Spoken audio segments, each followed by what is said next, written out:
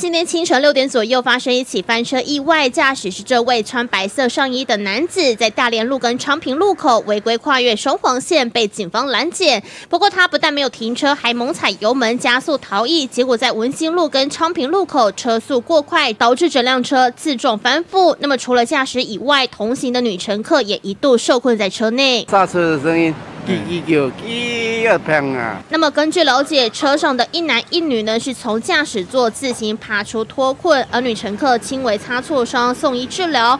原来驾驶不愿意配合盘查，那么是因为他有喝酒，担心酒驾被查出来。不过最后下场呢，整辆车失控翻覆以外，还是被警方上铐带回派出所。